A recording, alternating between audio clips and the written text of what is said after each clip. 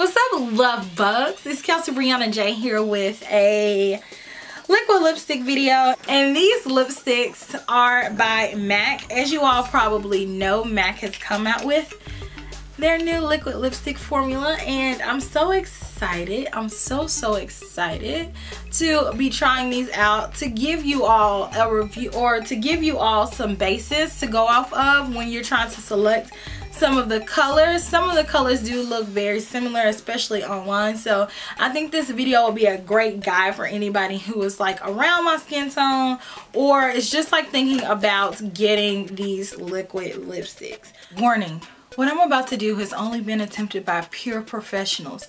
Do not try this at home. I am about to swatch. One, two, three, four, five, six, seven, eight, nine, ten, eleven MAC liquid lipsticks on my lips. I know that you guys have wanted to see this video, so I'm making it happen. Let's get it popping.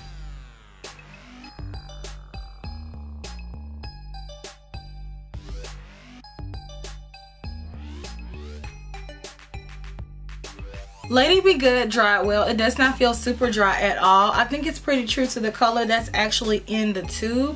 Um, I like this color because it's like the closest one to nude that they have. I wouldn't wear this by itself. I would pair it with a neutral toned um, lip liner or something that's a, preferably a little bit more warm toned to make it look a little bit more complementary to my skin tone. But I really like this color. This one, um, it applied pretty evenly with one coat. I didn't have to keep really going over. It wasn't streaky or anything like that. So I like this one. I'm going to be attempting to remove these with the MAC Gently Off Eye and Lip Makeup Remover. So I'm just going to shake it up and hopefully these come off easy without taking off too much of my makeup on my face. Yay, they did. Next, this one is Back in Vogue.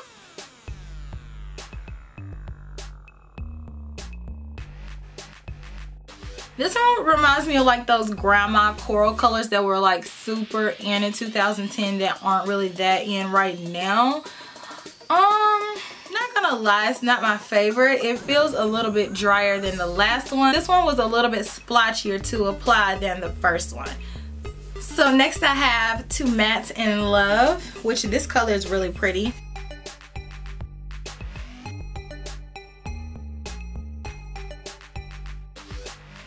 This one already feels really creamy and it's super opaque. I did not have to do a whole lot of work to make it even all the way across with the application. So I'm just going to let this one dry. So this one dries like a really pretty fuchsia pink. It reminds me of MAC's lipstick in Girl About Town but in liquid lipstick form. It's like that really pretty deepish rosy color and I feel like this would be really pretty in the springtime. I don't typically gravitate towards pinky tones like this one but it is pretty and it's nice to have. Super opaque more so than even the first two and I had no splotchiness whatsoever when applying it so this one is a great shade. So next I have Tailored to Tease which is a mid-tone pretty purpley color. Reminds me of Flat Out Fabulous lipstick by MAC. So so far I'm really liking the mid-tone pinkish purpley colors because I feel like they're really creamy and opaque You and me, we just don't get along. So next, this is my favorite color from the entire collection. This one is called, this one is called Oh Lady. I wore it in my last video that I uploaded.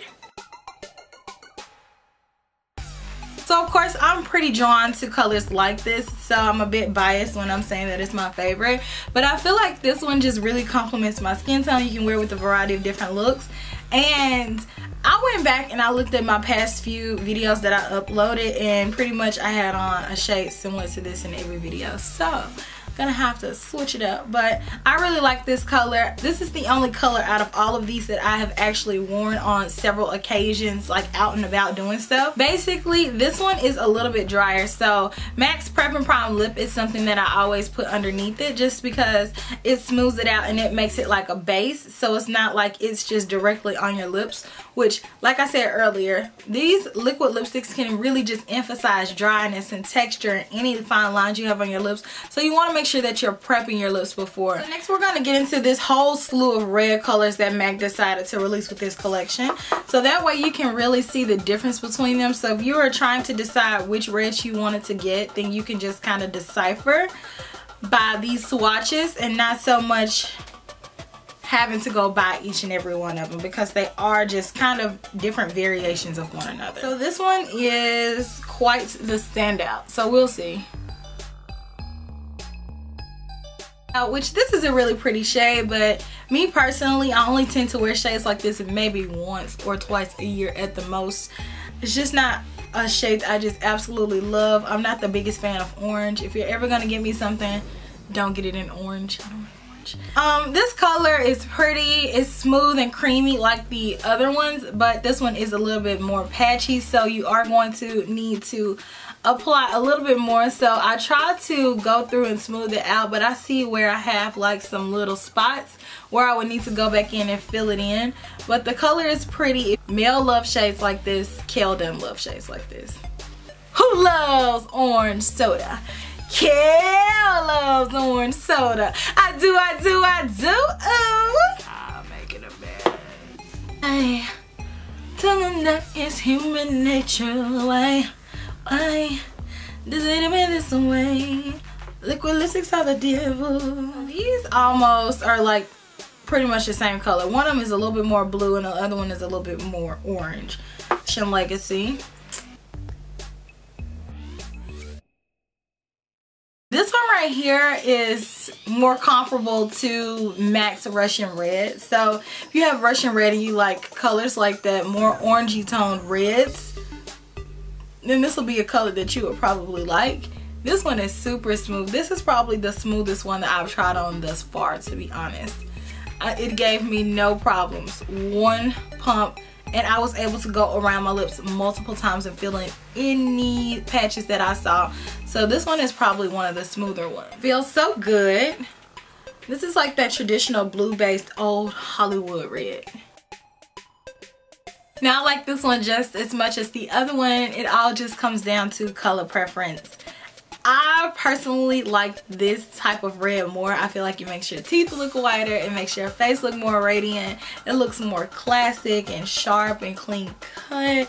So I just prefer a cleaner blue based red even though the other color may complement my skin a little bit more.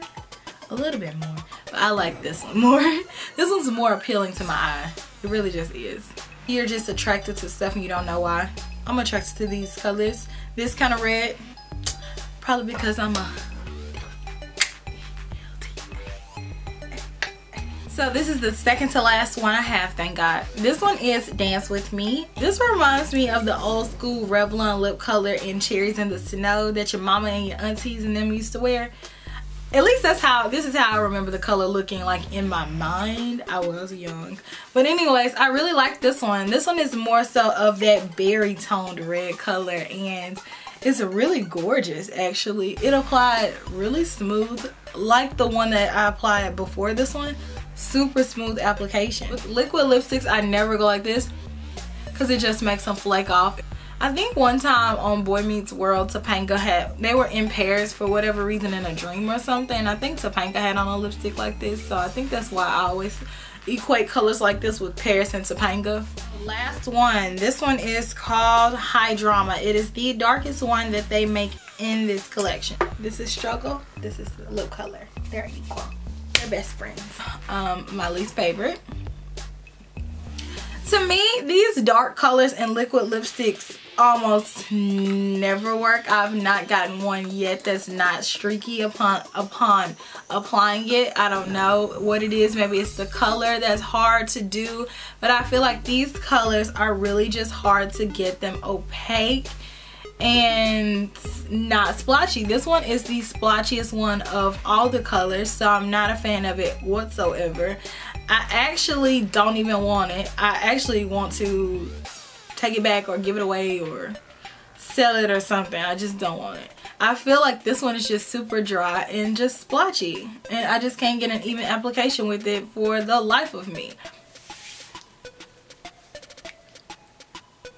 Not a fan.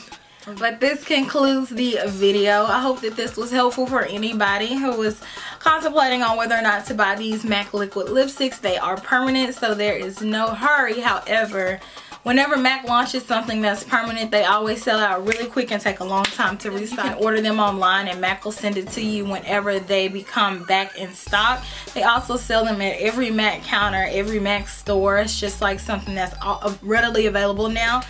You guys can go back through and check out my individual thoughts on any of them. Let me know what you all think of them or if you're getting any of them or already have them. Let me know what you all think.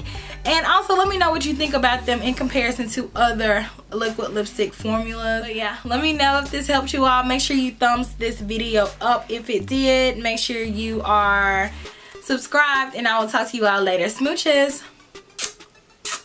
Bye.